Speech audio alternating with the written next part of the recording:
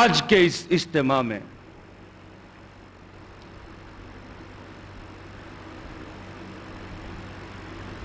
چونکہ چند دن قبل ہماری ایک عزیز ہستی، محبت والی شخصیت، مروت والی ذات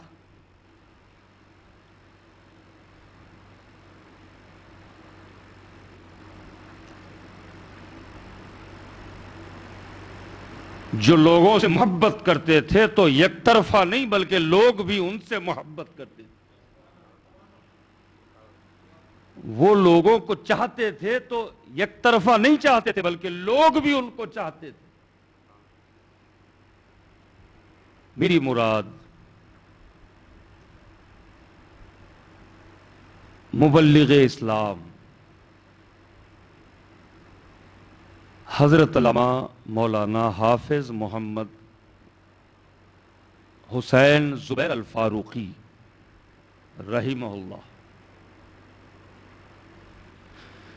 جن لوگوں نے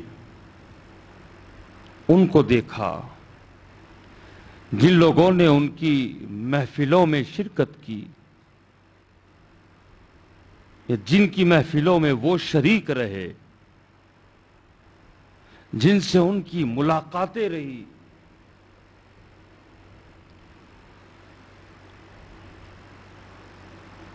وہ یک زبان کہنے پر مجبور ہو گئے کہ دنیا سے قلندر چلا گیا۔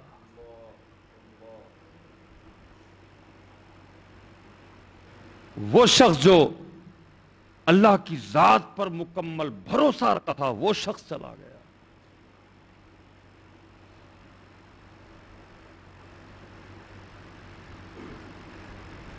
اور جن کا تعلقات والا، معاملات والا جو انداز تھا، ایک قول ہے جو جس کی نسبت مولا کائنات سیدنا علی المرتضی کرم اللہ وجہ کی طرف کی جاتی ہے۔ میں نے پڑھا تو کہیں نہیں لیکن بہت سو سے سنا ہے کہ آپ نے فرمایا کہ رشتے خون کے نہیں بلکہ احساس کے ہوتے ہیں۔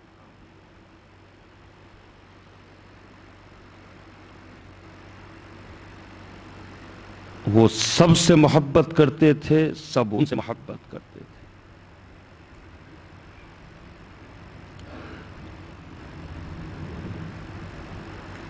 نصبی اعتبار سے دیکھیں تو پوترے تھے سیدنا عمر فاروق رضی اللہ تعالیٰ عنہ کے اور نواسے تھے سیدنا علی المرتضی کرم اللہ وجہ کے۔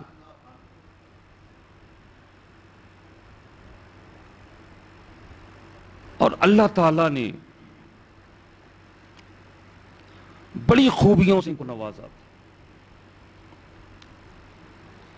تقوی پرہیزگاری کا جہاں تک معاملہ ہے، جن کے خاندان سے اور افراد خاندان سے یہ فقیر بڑے قریب سے واقف ہے۔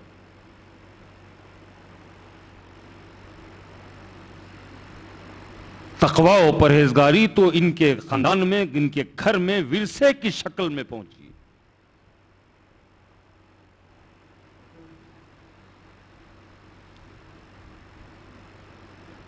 اور وہ اعمال جو اللہ رسول کو راضی کرنے والے ہوتے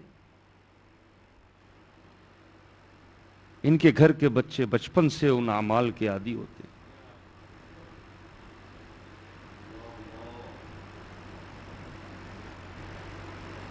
اس فقیر کے مزاج سے سب لوگ واقف ہیں کہ مبالغہ آرائی سے فقیر ہمیشہ دور رہتا ہے۔ لیکن جو بات سچی ہے وہ کہنے میں بھی تکلف نہیں ہوتا۔ میں نے دیکھا ہے۔ میں نے سمجھا ہے۔ اور میں نے محبت بھی کی ہے، محبتوں سے نوازا بھی گیا۔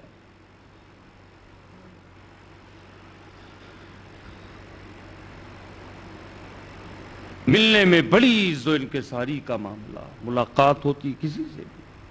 اپنے تو اپنے ہیں، غیر سے بھی وہ ملتے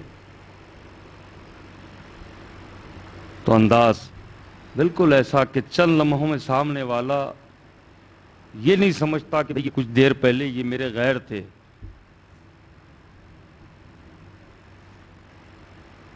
مسکرانا۔ اور مسکرا کے لوگوں کے دلوں میں اپنا گھر بنانا۔ یہ مولانا زبیر فاروقی رحم اللہ کی خصوصیت تھی۔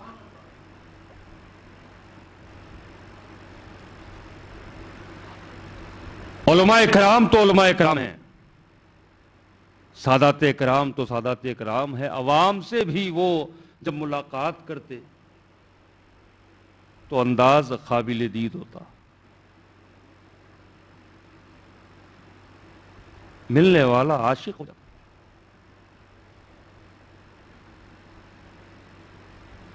کون کون سی خوبی جو اس مختصر سے وقت میں بیان کی جا سکے؟ بہت سی خوبیوں کے وہ جامع تھے۔ حضور پاک صلی اللہ علیہ وآلہ وسلم کی غلامی پر ناز کرنے والے تھے۔ اہل بیت اطہار سے شدید محبت کرنے والے تھے۔ اور صحابہ اکرام کا بے انتہا ادب کرنے والے اولیاء اکرام سے، بزرگان دین سے سچی عقیدت رکھنے والے بالخصوص پیرانی سلسلہ سے۔ وہ چشتی تھے قادری تھے۔ اور بھی کئی سلاسل کی ان کے پاس نعمتیں پہنچی۔ وہ صرف نظرانے میں صوفی نہیں تھے، بلکہ وہ اندر سے بھی ایک سخت قسم کے سنی صوفی تھے۔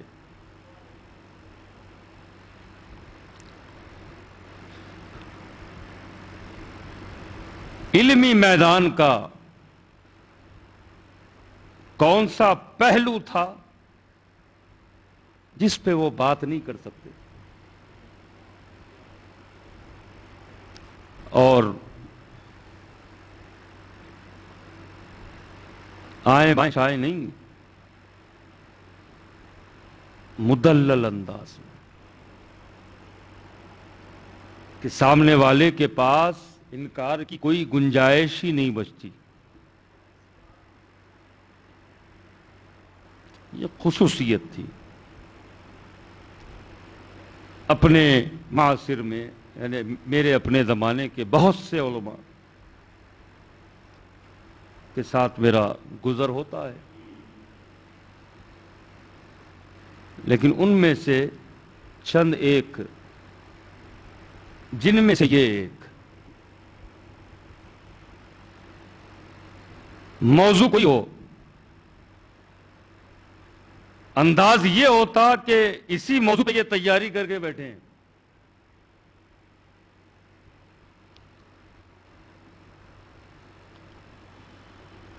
طبیعت میں عزو ان کے زندگی میں سادگی۔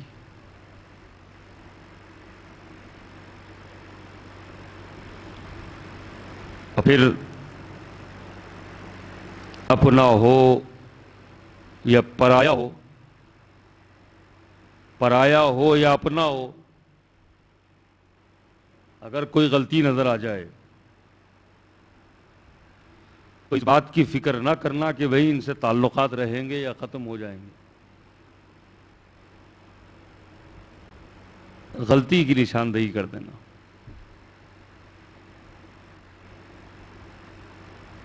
اگر سخت قسم کی غلطی ہو اور اتفاق سے غلطی کرنے والا کوئی بدعقیدہ ہو، تو پھر میرے ساتھ بھی وہ جلسوں میں رہے ہیں اور میں نے وہاں ان کی سختی کو بھی دیکھا ہے۔ اور کوئی اپنے غلطی کر دے تو اسے تنہائی میں بلا کر۔ اس کی عزت نفس کا خیال رکھتے ہوئے اس کو مسئلہ سمجھا دینا۔ اور ساتھ میں ایک جملہ یہ بھی کہہ دینا کہ آپ کو برا لگا تو مجھے معاف کر دے۔ یہ خوبی تھی صاحب۔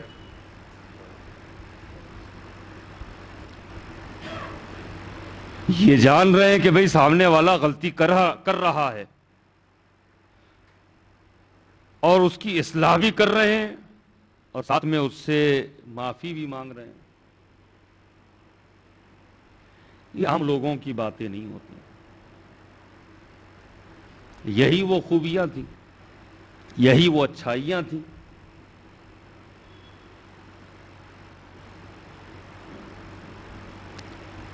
کہ آپ کے فرزند فرزندان بیٹھے ہوئے ہیں۔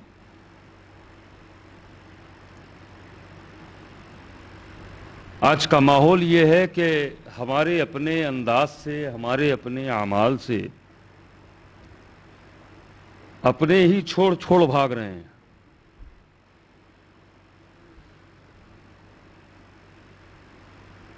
اور بیدار ہو کے بھاگ رہے ہیں۔ اور جس فرقے، جس جماعت میں ان کے لیے جگہ مل جائے، وہاں وہ سیٹ ہونے کی کوشش کر رہے ہیں۔ یہ ماحول ہے آج کا۔ ایسے ماحول میں اللہ نے جو خوبیاں دی ہیں، ان کی حفاظت کرنا اور پھر ان خوبیوں کو لوگوں کو اسلام کی طرف بلانے کے لیے اس کا مظاہرہ کرنا، یہ ہر کسی کے بس کی بات نہیں۔ ایسے ماحول میں اور آج کے دور میں بالخصوص کوئی اپنا مذہب چھوڑ دے۔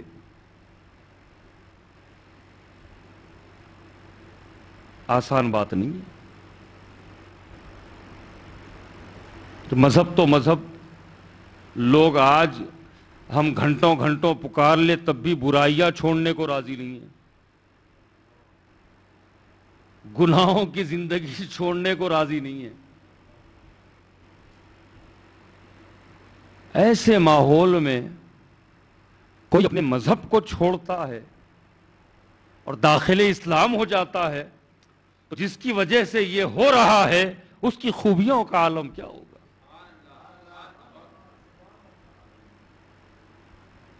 کیونکہ تقریروں اور تحریروں کے ذریعے اگر لوگ آسانی سے اسلام لے آتے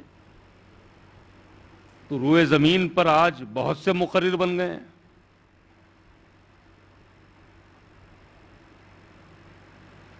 اور ٹیکنالوجی نے کام کو اتنا آسان کر دیا کہ روزانہ ایک کتاب، کم از کم ایک کتاب چھپ رہی ہے۔ تو اس کے نتیجے میں تو ساری دنیا کو مسلمان ہو جانا چاہیے تھا۔ اور ایسا نہیں ہے کہ کتابیں چھاپ کے صرف اپنے گھر میں رکھ رہے ہیں۔ بلکہ غیر مسلموں تک وہ کتابیں بھی پہنچ رہی ہیں۔ ہم جو بات کر رہے ہیں، کہہ رہے ہیں، وہ بھی غیر مسلم سن رہے ہیں۔ پھر کیا وجہ ہے؟ وجہ یہ ہے کہ اچھائی کا حکم دینے والا پہلے خود اچھا ہو جائے۔ برائی سے روکنے والا پہلے خود برائی سے روک جائے۔ تو آپ اچھائی کا حکم نہ بھی دیں تو لوگ آپ میں موجود اچھائیوں کو دیکھ کر آپ کے دین کو قبول کرنے پہ راضی ہو جائیں گے۔ اور راضی نہیں بلکہ دامن اسلام میں پناہ بھی وہ حاصل کر لیں گے۔ متقی بھی ہو جائیں گے پرہزگار بھی ہو جائیں گے، نمازی بھی ہو جائیں گے، روزے دار بھی ہو جائیں گے۔ تو عزیزان گرامی، علامہ محمد حسین زبیر فاروقی رحمہ اللہ اللہ ان کی قبر میں نور بر دے۔ اللہ ان کے درجات بلند فرمائے۔ ان کا ملنا، جلنا اور مشہور روایات ہیں کہ انسانوں کی گواہی پر بندے کی آخرت بنتی بگڑتی ہے۔ تو ان پر اللہ نے اتنا فضل کیا کہ جب یہ دنیا سے جانے لگے تو ان کو اتنی مہلت مل گئی کہ اپنے بیٹے سے کہہ رہے ہیں کہ سب سے کہہ دو کہ وہ مجھے معاف کر دے، میں نے انہیں معاف کر دیا۔ ایک روایت میرے ذہن میں آ گئی، اپنی بات کو میں سمجھ رہا ہوں۔ حدیث قدسی ہے۔ حضور پاک صلی اللہ علیہ وآلہ وسلم اپنے دولت سرا میں چہر مبارک پر فکر کے آثار لیے جلوہ افروز ہے بیٹھے ہوئے، تشریف رکھے۔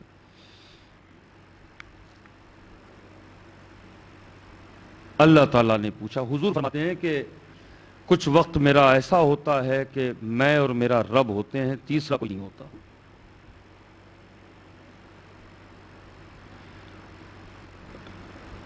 محبوب کے چہرے مبارک پر آثار فکر ہے۔ اللہ نے پوچھا، محبوب، کیا بات ہے؟ کس بات کو لے کے آپ فکر کر رہے ہو؟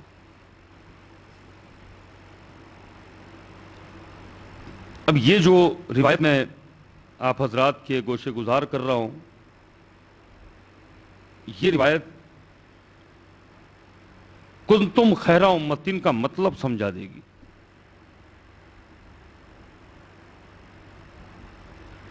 اللہ نے پوچھا، محبوب، کیا بات ہے؟ کس بات کی فکر ہے؟ کیا سوچ رہے ہو؟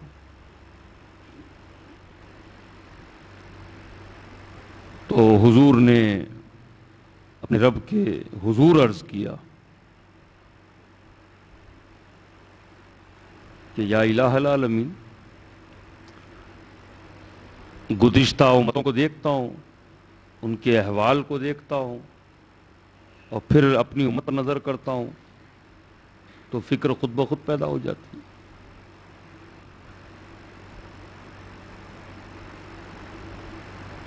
تو اللہ تعالیٰ نے پوچھا، محبوب، کیا بات ہے؟ بتاؤ تو صحیح۔ تو حضور صلی اللہ علیہ وآلہ وسلم نے عرض کیا، مولا، گزشتہ امتوں کی عمریں لمبی لمبی طویل ہوا کرتی جس کی وجہ سے وہ بڑی عبادت کیا کرتے تھے۔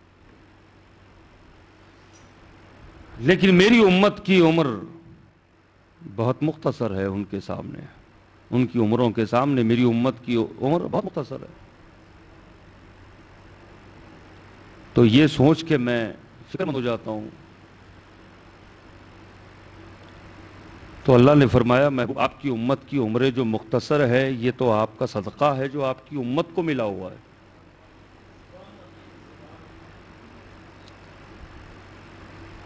حضور نے عرض کیا، مولا عمر مختصر ہونا یہ انعام کیسے ہو گیا؟ تو اللہ تعالیٰ نے فرمایا، محبوب، جس کی عمریں لمبی ہوتی ہیں، ان کے دل سخت ہو جاتے ہیں۔ ہم چاہتے ہیں کہ امتی آپ کا ہو، اس کا دل نرم رہے اور دل کی نرمی کی وجہ سے وہ ہمارا مقرب ہو جائے۔ میرے محبوب، اور کیا بات ہے؟ تو عرض کیا مولا، حضور نے عرض کی مولا، گزشتہ امتوں کو اچانک موت آتی تھی۔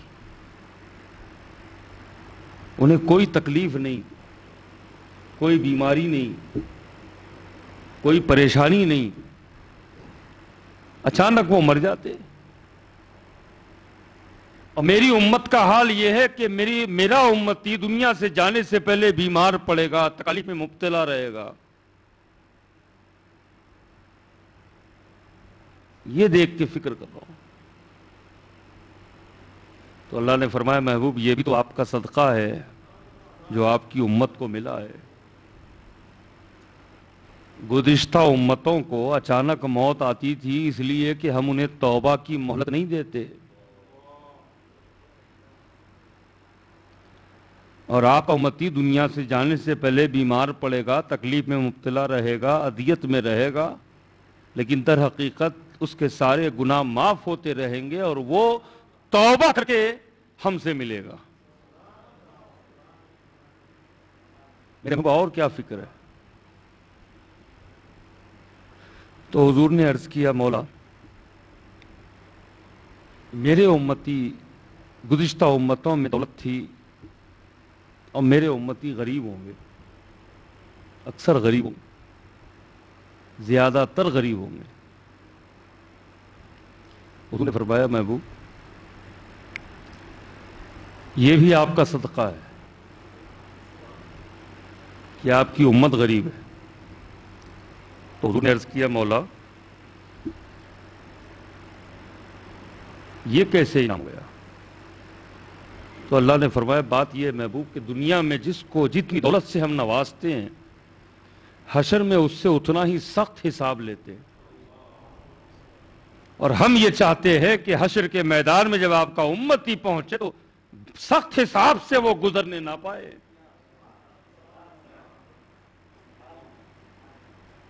بڑی طویل روایت ہے۔ اب عزیزان گرامی۔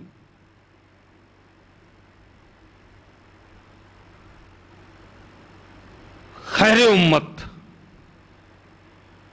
کہ اللہ تعالیٰ نے ہر لحاظ سے ہمارے ساتھ بھلائی فرمائی ہے۔ دنیا میں جب تک ہیں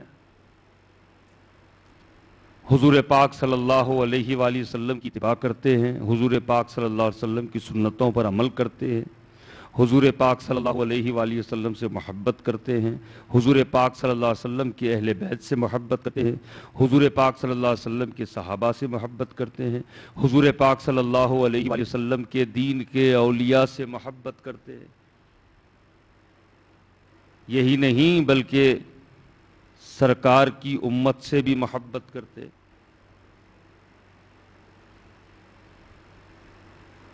بندرانی خدا سے محبت کرتے ہیں۔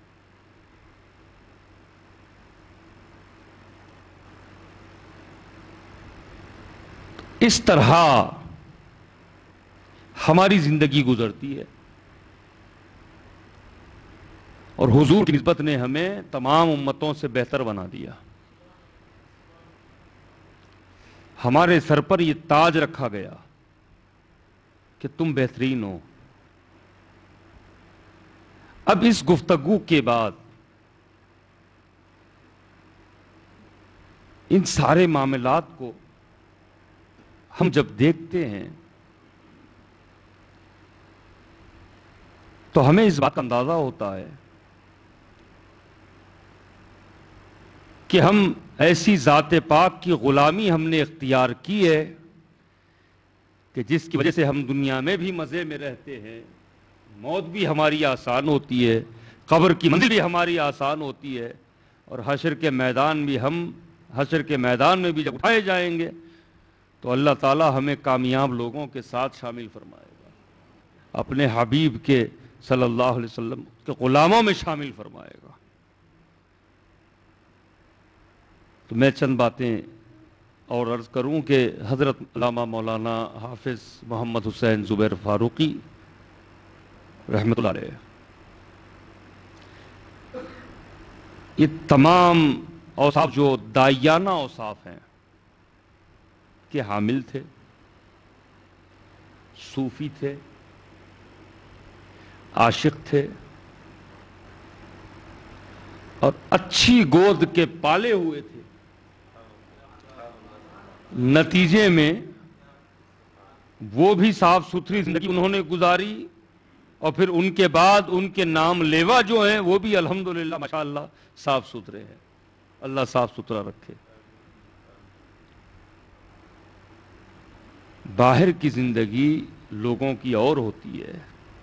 گھریلو زندگی اور ہوتی ہے۔ باہر تو وہ حافظ صاحب کہلاتے ہیں، قاری صاحب کہلاتے ہیں، بہت بڑے علامہ فہامہ کہلاتے ہیں۔ لیکن ان میں اکثر کی شخصیت گھر میں کچھ اور ہوتی ہے۔ جس کے نتیجے میں ان کے بعد والے جو ان کے نام لیوا ہوتے ہیں، ان میں وہ خوبیاں نہیں آ پاتی۔ جس کا،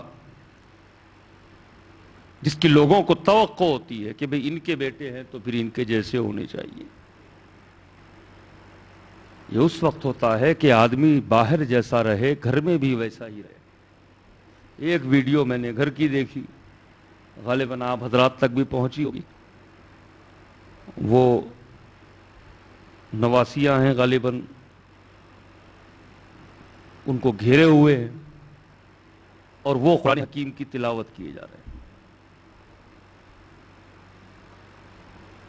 گھر سے باہر نکل کے ہی وہ قاری نہیں بنتے تھے، بلکہ گھر میں ہوتے تب وہ قاری قرآن ہوتے۔ گھر کے باہر نکل کر ہی وہ سنتوں پر عمل نہیں کرتے، بلکہ گھر میں بھی ہوتے تو سنت رسول پر عمل پیرا رہتے۔ یہ خوبی تھی علامہ زبیر الفاروقی رحمت اللہ علیہ کی۔ اور زبانوں پر جہاں تک عبور رکھنے کا معاملہ تھا۔ اردو، عربی اور انگلش تو ہم خود، ہم نے خود دیکھی ہے کہ عربی ایسے بولتے کہ عرب والے حیران، انگلش ایسی بولتے کہ انگریز سوچنے میں مجبور ہو جائے۔ کہ بھئی یہ کیسے آدمی سے سابقہ پڑ گیا۔ اردو تو تھی چونکہ وہ خود حیدرآباد کے تھے۔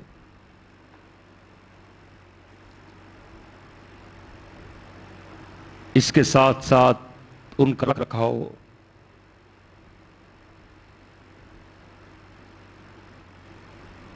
ان کا مشفقانہ انداز، ان کا محبت والا انداز کہ ایک دو نہیں بلکہ سو کے قریب لوگ ان کے ہاتھ پر اسلام قبول کر چکے ہیں۔ یہ اتنی بڑی نیکی ہے کہ جس کی برکتیں تو نسلوں تک رہنے والی ہیں۔ اور رہیں گی انشاءاللہ۔ کیونکہ کسی ایک فرد کا شرک اور کفر سے منہ موڑ کر ایمان کی طرف آ جانا اور جس کی وجہ سے یہ عمل ہو رہا ہے، اللہ تعالیٰ کی بارگاہ میں اس کا مقام کیا ہوگا؟ اس کے لیے تو بشارتیں ہی بشارتیں اس کے لیے تو خوشخبریاں ہی خوشخبریاں ہیں۔ اور اس کے اطراف و اکناف میں اطمینان و سکون ہی رہے گا۔ اور بھی زندگی کے بہت سے پہلو ہیں۔ اس میں سے ایک پہلو جو سب واقف تھے، وہ تھا توکل کا۔ اللہ پر بھروسہ کرنا۔ اور یہ جو کہا جاتا ہے نا کہ بھئی جو اللہ سے ڈرنے والا ہوتا ہے، اس کو مخلوق کی پرواہ نہیں ہوتی۔ نتیجے میں حق گوئی اور بے باکی کا اظہار اس سے ہوتا ہے۔ یہ خوبیاں تھی علامہ زبیر الفاروقی رحمہ اللہ کی۔ وہ صرف نظر آنے میں صوفی نہیں تھے، بلکہ وہ حقیقتاً صوفی تھے۔ اہل سنت والجماعت عقیدے پر مضبوطی سے قائم تھے۔ اچھے تھے، اچھائی کی تعلیم دیتے تھے، برائی سے رکتے تھے، برائی سے روکتے تھے۔ اللہ تعالیٰ ان کے درجات کو بلند فرمائے، ان کے پسماندگان، ان کے متعلقین، ان کے محبین سب کو صبر جمیل عطا فرمائے۔ اور ان کی جو اولادیں ہیں، مولا تعالیٰ ان کی عمریں دراز فرمائے۔ اور ان کو ہر آفت، ہر بلا، ہر مصیبت سے محفوظ و معمون رکھے اور اپنے آبا و اجداد کی طرح یہ بھی خدمت دین میں اور سر بلندی دین میں مصروف رہیں اور اللہ تعالیٰ ان کا مددگار رہے۔ واخر الدعوانا ان الحمد للہ رب العالمین۔